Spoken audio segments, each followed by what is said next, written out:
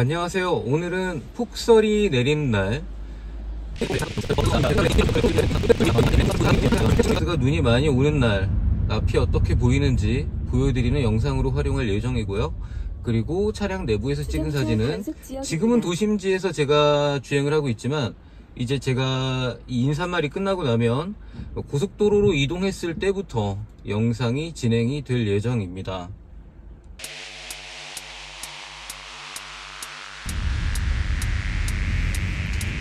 자 이제 잠시 후면 고속도로에 진입할 예정입니다.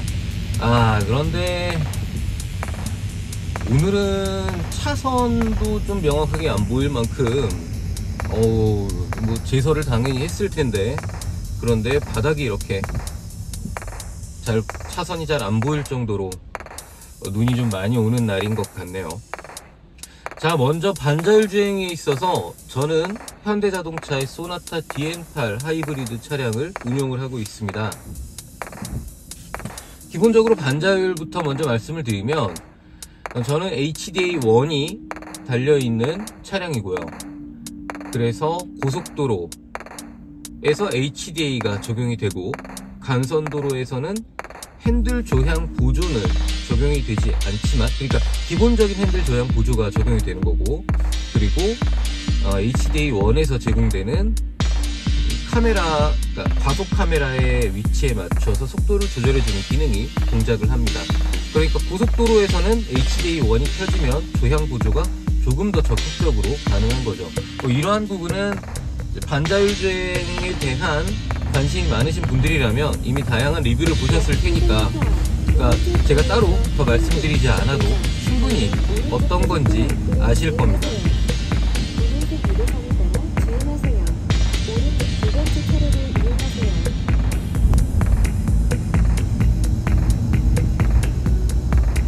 자, 저는 이제 수도권 제1순환고속도로 그러니까 외곽순환고속도로죠. 외곽순환고속도로에 진입하면 바로 반자율 주행 을 활성화시킬 예정인데요. 오늘 기대되는 거는 당연히 이제 고속도로에서도 차선이 좀 명확하지 않겠다 라는 게 좀 예상이 되는 부분이라서 핸들 조향은 거의 되지 않겠다 라는 생각을 하고 있습니다. 그래서 제가 앞으로도 몇 가지의 반자율 주행 영상을 좀 한번 준비해 보려고 하고 있는데 뭐 날씨가 맑거나 또는 뭐 밤 시간이라도 차선이 잘 보이는 상태라면 제가 물론 위험하지만 이제 리뷰를 위해서 핸들에서 손을 거의 떼고 주행을 해도 크게 고속도로상에서는 별다른 문제가 없는 그런 모습을 보실 수 있으실 텐데요. 아 진짜 눈 너무 많이 왔네요. 아 잠깐 TMI입니다. 네. 그런데 오늘 같은 경우에는 거의 핸들 조향은 포기해야겠다 라는 생각을 하고 있습니다 반면에 지금 저도 오늘은 조금 좀 궁금한 건 그러니까 어, 다양한 종류의 반자율 주행을 나름대로 경험을 해봤고 그 다음에 다양한 날씨에서도 경험을 해보긴 했는데 이렇게 좀 눈이 어, 전날부터 좀 많이 올 거라는 그런 예보가 되어 있는 날에 이 반자율 주행을 활성화시켜 본 건 저도 오늘이 처음입니다.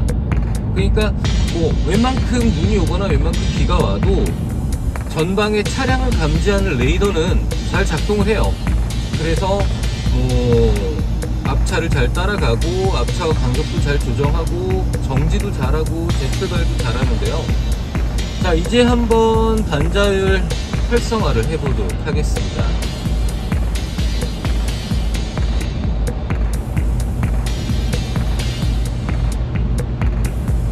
네 역시 핸들 보조는 활성화가 되지 않고 있습니다. 차선 인식이 좀 잘 안 되는 모양이네요. 어 지금 차선을 인식했습니다. 뭐 지금은 제 눈으로 봐도 어느 정도 차선이 보이네요. 자 차선 인식 같은 경우에는 비가 많이 와도 차선을 잘 못 찾기는 합니다. 그러니까 아무래도 도로가 번들번들하니까 카메라가 봤을 때 어디가 차선인지 어디가 도로인지 잘 구분하지 못하는 거겠죠 눈이 오는 날 역시 그럴 거라고 예상을 하는 거죠 지금 상황으로 봤을 때 제가 예상하는 건 이 정도 바닥의 상태면 이제 반자율 주행 이제 카메라가 시스템에 있는 카메라가 차선을 인식하지 못할 거라고 생각을 했는데 음, 조금 왔다 갔다 하긴 하네요. 그런데 일단 지금은 핸들 조향 보조까지 켜져 있는 모습입니다. 뭐 차선 유지까지 켜져 있고요.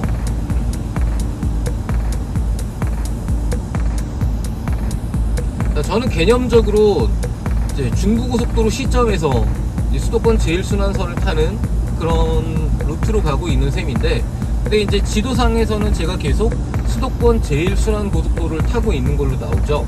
그래가지고 여기만큼은 진입로 진출로 개념과 비슷한데 그런데 HDA가 계속 켜져 있습니다. 차선을 좀 바꿀게요. 그래가지고 이 정도 각도에서도 자 저는 지금 손을 뗐습니다. HDA가 작동을 한다면 이 정도 커브까지 돌아 나갑니다. 그리고 HDA가 켜져 있기 때문에 속도 조절을 해요. 약간 속도가 빨라도 꽤 잘 돌아 나가는 모습을 보여주는 편입니다.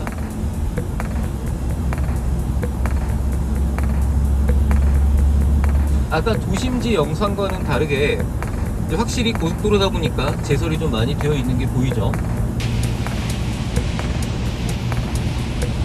제가 영상을 시작할 때 블랙박스 영상 리뷰와 동시에 사용하기 위해서 동시에 촬영하고 있다고 말씀드렸는데 그 때문에 영상을 시작할 때 제가 며칠 전에 올렸던 샤오미 70mai A800S 블랙박스 리뷰 영상과 같이 영상을 병합해서 보여드리기도 하고 또 영상 내에 이전에 올렸던 영상의 링크를 달아드리기도 할 예정이고 또 밑에 오늘 영상의 상세 보기를 클릭하시면 제 블로그에 올려놓은 샤오미 70mai A800S 블랙박스의 리뷰 영상을 아닙니다 리뷰 posting이죠. 리뷰 posting을 같이 보실 수 있습니다. 오늘은 이 영상에서는 주로 반자율 주행에 많이 어, 집중을 할 예정이라는 것 알아주시면 감사드리겠습니다. 자 핸들을 잡고 있습니다. 뭐 지금 보시면은 제설이 많이 되어 있긴 하지만 이 양쪽 차선 부분으로 왼쪽 부분은 그래도 차선의 형상이 나타나지만 오른쪽의 차선은 꽤 많이 그래도 이 슬러지에 쌓인 듯한 그런 모습을 보여주고 있는데 제 지금 카메라 영상 속에서 그게 보일지 모르겠지만요. 그런데 지금 상황에서는 차선을 잡고 있는 게 보입니다. 뭐 예상했던 것처럼 레이더도 잘 작동을 하고 있어서 앞차 인식은 물론 차량 간격도 조절이 잘 되고 있네요. 뭐 조금 더 눈이 많이 와서 정말 앞이 안 보일 정도로 심하게 눈이 온다면 모를까. 일단 뭐 이 정도의 눈이라고 할지라도 smart cruise 정도의 기능이라고 생각을 하고 이제 앞차와의 차, 그 차간 간격을 조절하는 정도는 어, 충분히 사용할 수 있겠다라고 생각할 법합니다. 폭우가 내릴 때 같은 경우에 그때는 제가 차량 내에서 촬영을 할 수 있는 그 환경을 만들어 놓지 못해서 이제 눈이 내리는 이 시점에서야 반자율 주행에 대한 영상 리뷰를 올리게 되는데 폭우가 많이 내릴 때는 지금 이제 뭐 자료는 없지만 말로만 먼저 전달을 해드리면 지난 한 9월쯤 해서 우리나라에 이제 서울 경기 지역에 폭우가 엄청나게 내린 적이 있었죠. 뭐 매일같이 출퇴근을 하고 있다 보니까 당연히 저도 그 지역을 지나올 수밖에 없었는데 그때에도 앞차와의 차간 거리를 인식하는 레이더는 잘 동작을 했습니다. 앞이 보이지 않아도 정말 정말 눈이 너무 많이 내려서 운전을 하고 있는 운전자 입장에서 앞이 보이지 않을 정도로 눈이 마, 아, 비가 많이 내리고 있다 하는 상황인데도 참 묘하게 레이더는 잘 작동을 했던 거죠. 대신에 운전자에게도 앞이 잘 안 보일 정도로 비가 내렸으니까 당연히 차선을 인식하지는 못했기 때문에 차간 거리만 사용할 수 있었고 핸들 조향 보조는 사용할 수가 없었습니다.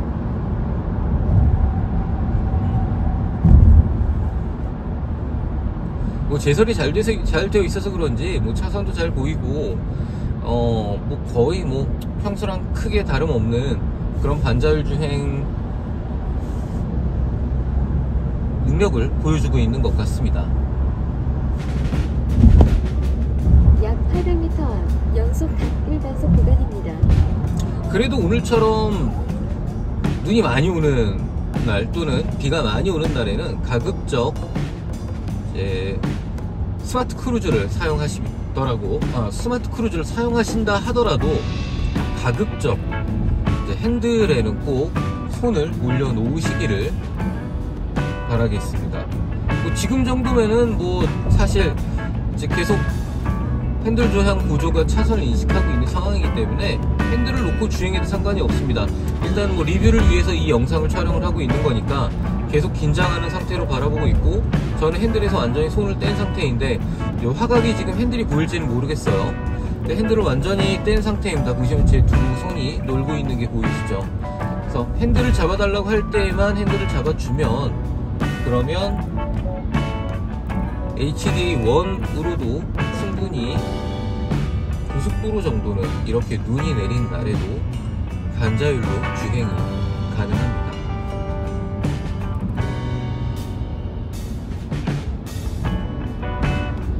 앞으로 반자율 주행에 관한 영상을 좀 준비를 해서 이제 올려보려고 하는데요.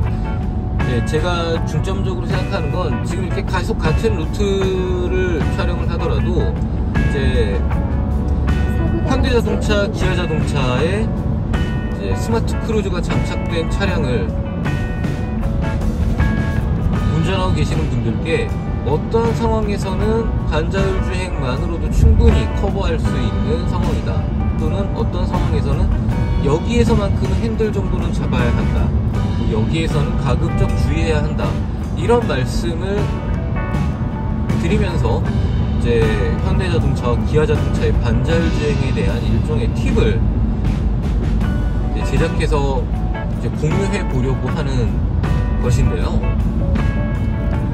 그래서 이제 오늘 같은 경우 눈이 내리는 날 반자율 주행의 성능이 어떤지 뭐 핸들 조향은 잘 되는지 또 레이더는 잘 동작하는지 이렇게 보여드리기 위해서 이제 첫 반자율 주행 리뷰 영상을 만들었습니다.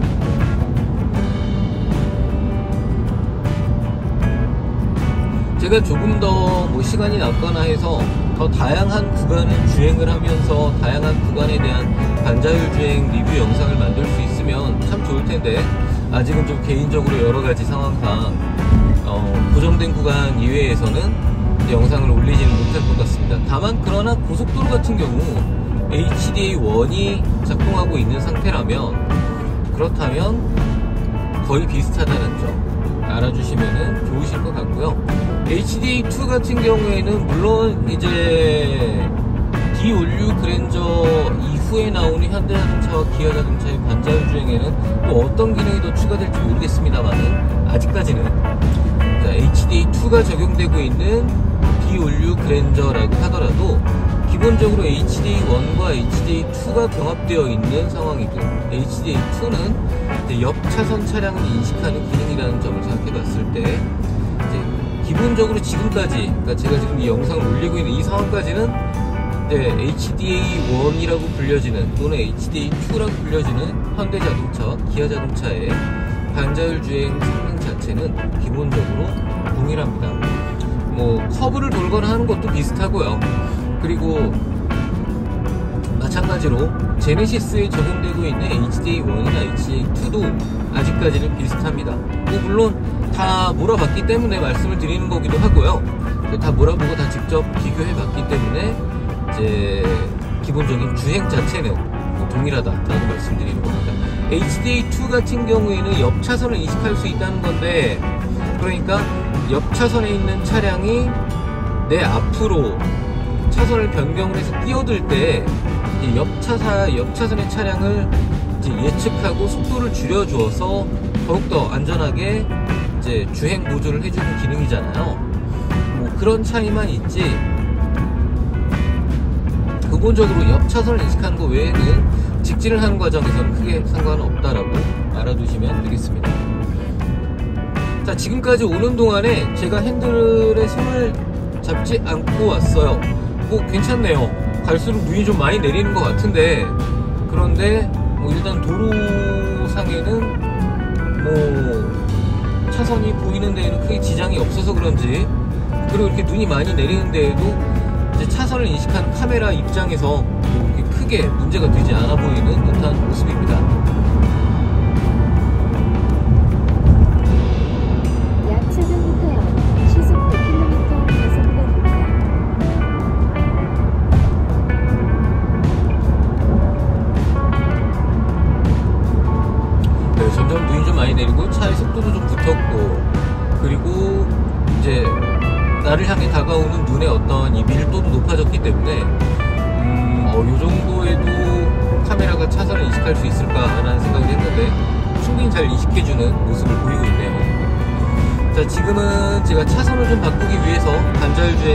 해제할 겁니다.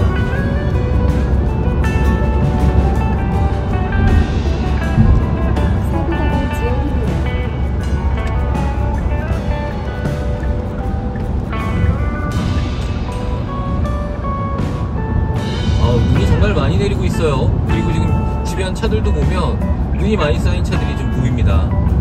뭐 나무 같은 것들을 봐도 아 오늘은 진짜 눈이 많이 온다라는 생각을 하게 만드네요.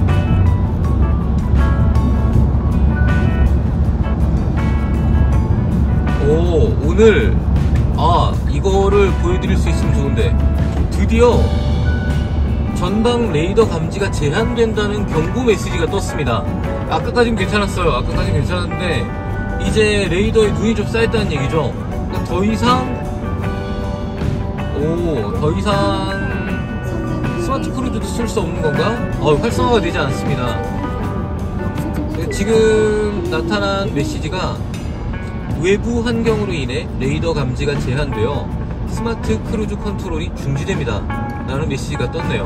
그러니까 지금 이제 눈이 꽤 많이 내리고 있기 때문에 전면부에 눈이 좀 쌓였다는 얘기입니다. 그러니까 레이더에 아까까지는 그래도 괜찮았는데 지금은 이제 레이더에 눈이 많이 쌓였다는 얘기네요. 음, 그래가지고 지금 계기판상에 이제 전방 차량 충돌 보조가 불가능하다는 그런 노란색 경고등도 떠 있고요. 오, 눈이 많이 내리다 봅니다. 그리고 하단에 오 경고 메시지가 두 개나 떴네요. 이건 어떻게 볼 수 있을까? 뭐 하여튼 지금은 주행 중이니까 자, 이걸 이따가 확인해 보는 걸로 하겠습니다. 제가 이거를 만약에 영상 속에 포함해 드릴 수 있게 된다면 영상에 포함을 해서 같이 보여드릴 수 있도록 하겠습니다. 오늘의 영상은 고속도로를 벗어나면 이제 반자율주행 리뷰 영상을 마칠 예정입니다. 뭐 당연하게 이제 시내에서는 뭐 반자율 주행을 거의 뭐 사용할 수가 없으니까 뭐 반자율 주행 리뷰 영상이라고 어, 사용할 수가 없는 거기 때문이기도 하고 또 주로 이제 고속도로상에서 HDA1이 활성화됐을 때 반자율 주행 성능이 어떤가를 보여드리고자 하는 게 목적이다 보니까 그래서 이제 이 성남 톨게이트를 지나면 리뷰 영상을 서서히 마무리할 예정인데요. 자, 지금까지 일단 상황을 좀 정리를 해보면, 오, 다시 레이더 사용이 제한된다는 경고 메시지가 사라졌고, 어, 두 개로 떠있던 노란색 경고 메시지도 사라졌어요. 자, 일단, 카메라가 차선을 인식하는 건 잘하고 있습니다. 뭐, 이거보다 정말 더 많이 눈이 오면 어떤지 모르겠어요. 뭐, 어쨌거나, 오늘 대설주의보였나요? 하여튼 전날부터 눈이 많이 내릴 거라는 그런 예보가 있었던 상황 그리고 그 예보에 충분히 부합하게 지금 눈이 지금 엄청나게 꽤나 많이 내리고 있는 상황에서 요 정도인데도 카메라가 일단은 차선을 잘 인식하고 있다는 점. 뭐 물론 이거는 이제 제설 상태가 어떠냐에 따라서 이제 좌우되는 부분이기 때문에 만약 좀 아무리 제설을 했는데도 눈이 더 많이 온다든지 또는 뭐 마침 제설이 늦어져서 차선이 잘 안 보인다고 하면 그런 반자율 주행에서 조향 보조를 사용할 수 없는 상황이 되겠죠. 어쨌거나 좀 폭우가 많이 내리는 상황이라고 해도 또는 비가 많이 내리거나 지금 정도로 눈이 많이 내린 상황이라고 해도 충분히 이제 레이더만큼은 동작을 잘한다는 게 일단 지금까지 제가 반자율 주행을 운용을 해보면서 겪은 이제 노하우가 되겠고요. 그리고 이제 좀 고속도로에서 좀 빠르게 주행을 좀 계속하는 상황에서는 앞에 레이더에 눈이 많이 쌓여서 뭉칠 수 있다. 이런 경우에는 레이더가 작동하지 않을 수 있다라는 게 오늘 새롭게 얻은 교훈인 것 같습니다. 뭐 그래서 실제로 레이더가 동작하지 않는다는 경고 메시지까지 나온 거죠. 뭐 지금은 다시 경고 메시지가 사라졌기 때문에 반자율 주행 시스템 활성화가 가능해요. 이제 이따가 내리면 어, 그러니까 주차장에 주차를 하고 내리면 앞부분이 어떻게 되었는지 한번 봐야겠네요. 근데 이제 별다른 경고 메시지가 없는 걸로 봐서는 뭐 이 눈이 다 녹아내린 상태라서 어, 크게 문제가 없는 걸지도 모르겠습니다. 그리고 또 한 가지 이제 생각을 해볼 부분이 있는데 이제 요 정도 눈이 많이 내리는 건가라는 생각을 하실 만한 분들도 있을 거예요. 뭐 지금 보면은 앞에 본넷에도 그렇게 크게 눈이 음, 뭐 녹기는 하고는 있지만 그래도 뭐 눈이 보이는 상황인데요. 이 차량은 하이브리드 차량이라는 거죠. 그러니까 하이브리드 차량은 엔진이 계속 켜졌다가 꺼졌다가 하는 특징. 그러니까 상대적으로 하이브리드가 아닌 일반 내연기관 차량들과 비교하면은 이 본인에서부터 앞에 차량 라디에이터 그릴까지 떨어지는 이 부분의 영역이 온도가 다를 거란 얘기입니다. 그러니까 내연기관 차량들은 본닛부터 앞에 라디에이터 그릴까지 상당히 온도가 그래도 꽤 있을 거고요. 지금 이 차량은 하이브리드 차량인데 물론 겨울에는 하이브리드 차량도 차량의 엔진의 온도를 어느 정도 유지하거나 히터의 온도를 유지하기 위해서 조금 더 과하게 엔진을 돌리는 게 이제 몸으로도 느껴집니다. 실제로 지금 연비 게이지 상으로도 연비가 뚝 떨어지고 있기 때문에 아 겨울철 지금 히터 때문에 지금 연비가 떨어졌구나 라는 거를 알 수 있게 해주는데요. 그럼에도 불구하고 일반적인 내연기관 차량들보다는 엔진이 작동하는 그 비중이 적은 거죠. 그러니까 라디에이터 그릴 정도에서 비교했을 때 일반 내연기관 차량에 비교한다면 상당히 온도가 낮으니까 조금 더 이 전방을 감시하는 레이더에 눈이 쌓여서 묻힐 만한 가능성이 높겠다라고 볼 수 있다는 겁니다. 만약 이게 전기차라면 더 심할 수도 있겠죠. 만약 제가 지금 생각하고 있는 게 거의 맞다면 그럼 전기 자동차라면 좀 이 정도의 눈에서는 완전히 스마트 크루즈를 사용할 수 없는 상황이 될 거다라는 생각이 듭니다. 자 오늘 눈이 내린 날 현대자동차의 반자율 주행 리뷰 영상 여기서 이제 끝맺음을 하도록 하겠습니다. 어, 꽤 오랜 시간 동안 이 영상 봐주신 모든 분들께 감사드리고요. 그리고 이렇게 많이 눈이 오는 날에도 제설만 잘 돼 있다면 핸들 조향 보조도 잘 된다.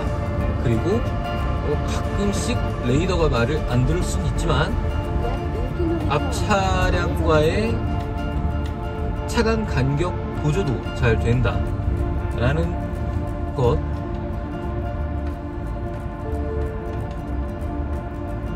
약 300m 앞 오른쪽 방향 알아 다른 도로로 진입하지 않도록 주의하세요. 약 400m 앞 차량 간격 유지가 잘 된다.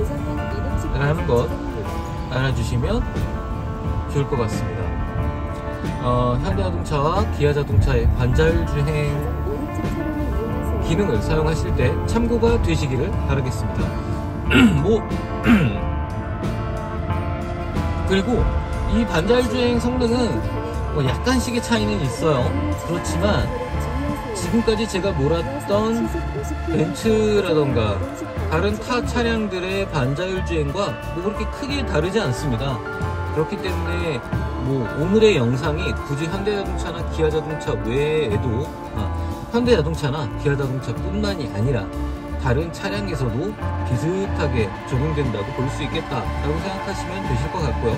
물론 테슬라는 좀 다를 겁니다. 테슬라는 아직 못 몰아봐서 제가 제 유튜브 채널이 잘 되고 그리고 어, 수익화가 잘 된다면 그러면 저도 테슬라를 한번 리뷰해보고 싶네요. 네 어쨌거나 눈이 많이 내린 날 현대자동차의 반자율 주행 리뷰 영상 여기서 이제 정말 마치려고 합니다. 긴 시간 동안 봐주셔서 정말 감사드리고요. 앞으로도 계속해서 이제 시간이 날 때마다 그리고 어떤 아이템이 생각날 때마다 현대자동차의 반자율 주행 특히 HDA1 기능이 어떻게 작동하고 또 어떤 특징을 보이는지 계속해서 영상으로 보여드릴 수 있도록 하겠습니다. 감사합니다. 부족하지만 많은 기대해 주시고요. 그리고 추천과 구독 꼭 부탁드리겠습니다. 심심하실 때마다 꼭 찾아와 주실 수 있는 채널이 될 수 있도록 노력하겠습니다. 감사합니다. 이만 끝내겠습니다.